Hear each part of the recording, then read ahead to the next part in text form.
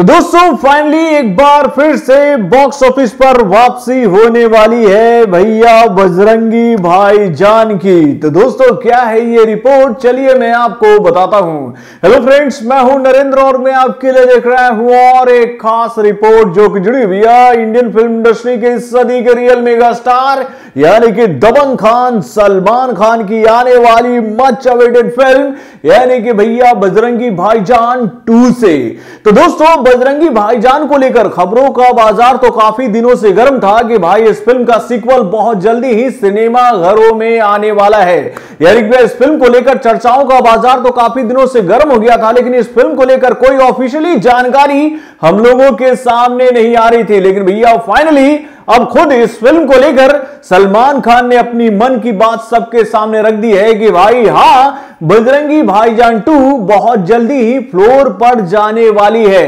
यानी कि भैया, कल ट्रिपल आर का जब इवेंट हुआ था मुंबई में तो भैया उसी इवेंट के दौरान यह घोषणा खुद बॉलीवुड के दबंग खान ने अपने दीवानों के सामने कर दिया है कि भाई, वो बहुत जल्दी ही बजरंगी भाईजान टू का काम शुरू करने वाले हैं। यानी कि जब कल ट्रिपल आर का इवेंट हो रहा था मुंबई में और उस इवेंट को होस्ट कर रहे थे करण जौहर तो भाई करण जौहर ने खुद सलमान खान से यह सवाल पूछा कि क्या हम ये बात ऑफिशियली मान ले कि आप बजरंगी भाईजान को एक बार फिर से बॉक्स ऑफ़िस पर वापस लाने वाले हैं? तो भैया, इस सवाल के जवाब में खुद सलमान खान ने यह बात करण जौहर को कह दी कि हाँ करण, ये फ़िल्म एक बार फिर से बॉक्स ऑफ़िस पर वापस आने वाली है। यानी कि बजरंगी भाईजान टू का काम शुरू होने वाला है। दोस्तों, आप लोग तो ये बात जानते ही हो कि भैया, बजरंगी भाईजान की कहानी को इंडियन फ़िल्म इंडस्ट्री के नंबर वन डायरेक्टर यानी कि एस एस राजामौली के पिता, यानी कि के बी विजेंद्र प्रसाद ने लिखा था और वो इस फ़िल्म का सीक्वल लेकर आना चाह रहे थे और इस बारे में उन्होंने सलमान खान से मीटिंग भी की थी। और भाई, जब उन्होंने अपना प्लॉट सुनाया था सलमान खान को तो सलमान खान को वो प्लॉट काफ़ी पसंद आया था और उसी वक्त से ये खबरों का बाज़ार इस बात को लेकर गर्म हो गया था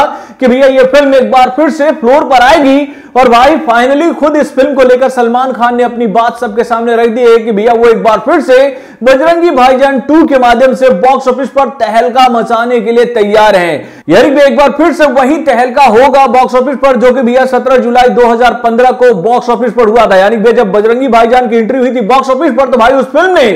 922 करोड़ 12 लाख रुपए का बिज़नेस सलमान खान के लिए कर दिखाया था। यानी सलमान खान ने खुद ये बात मानी है कि भाई बजरंगी भाईजान जो है वो उनके लाइफ की सबसे बड़ी फ़िल्म है और वो इस फ़िल्म को एक बार फिर से बॉक्स ऑफ़िस पर लेकर आने वाले हैं। तो दोस्तों, इस फ़िल्म की घोषणा तो एस एस राजा मौली के सामने खुद सलमान खान ने कर दी है। तो अब देखने वाली बात यह है कि क्या एस एस राजा मौली अपने पिता के द्वारा लिखी गई इस फ़िल्म यानी कि केवी विजेंद्र प्रसाद के इस पार्ट टू को करने के लिए तैयार होंगे? क्योंकि जब इस फ़िल्म को बनाया जा रहा था, यानी कि बजरंगी भाईजान वन को जब बनाया जा रहा था तो उस वक्त इस फ़िल्म को बनाने के लिए सबसे पहले एस एस राजा मौली से ही अप्रोच किया गया था कि वो इस फ़िल्म पर काम करे, लेकिन उस वक्त एस एस राजा मौली जो है, वो बाहुबली के शूट में काफ़ी व्यस्त हैं, जिस वजह से उन्होंने इस फ़िल्म को करने से इनकार कर दिया था। भाई, जब ये फ़िल्म सिनेमा घर में आई तो इस फ़िल्म को देखने के बाद एस एस राजा मौली को भी इस बात को लेकर काफ़ी दुख हुआ था कि वो इस फ़िल्म को क्यों नहीं बनाए? और भाई, अब जब इस फ़िल्म का सिक्वल आने वाला है तो हम तो ये कह सकते हैं कि हो सकता है कि एस एस राजा मौली इस फ़िल्म को बनाने के लिए तैयार भी हो जाए।